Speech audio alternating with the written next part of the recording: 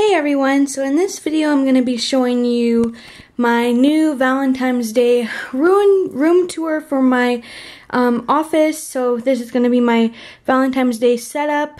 Um, so what I have is just this, the bed that used, where Bernie used to sleep is now back onto the um, couch that it's supposed to be.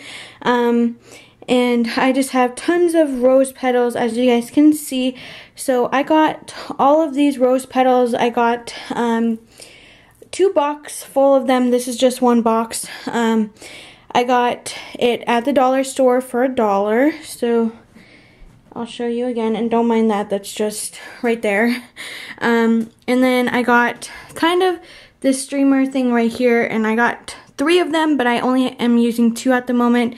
Um, and we, I have it like this, and it's just there, and it has tons of hearts, and I have it going all the way around, and then I have one that kind of loops and goes like that, and I have this big huge heart Valentine's Day wreath that I got at Walmart, and I think it was $8.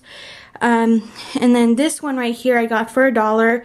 Um, it's kind of the same thing, but this one is more fancier. Um, but that one was a dollar at, at the, not at Walmart, but at the dollar store. And I think I said the dollar store for this too. I cannot remember. Um, and then this one I got at, um, Walmart and I think this was $6 and I really really liked it because it was really cute and then I got all of this stuff right here at the dollar store. Um, this balloon says I love you. This one says Happy Valentine's Day and this one says Love XOXO um, and that all over it. And then I got this thing right here and I got pink, red, and pink rocks um, just to put in there for it to look nice. And then I got one of these um, desk um, things, and it's kind of what you can use to um, hold balloons also. But I really liked it because it have it had hearts and stuff like that with it.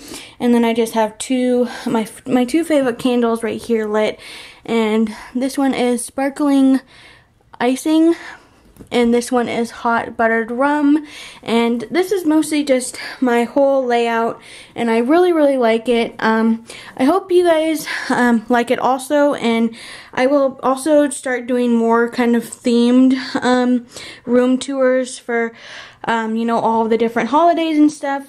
Um, I just thought that since it's a new year I should start doing new new things and um, yeah, so I'm going to have this whole setup for the month of February and I hope you guys like it and I will see you guys in my next video. Bye!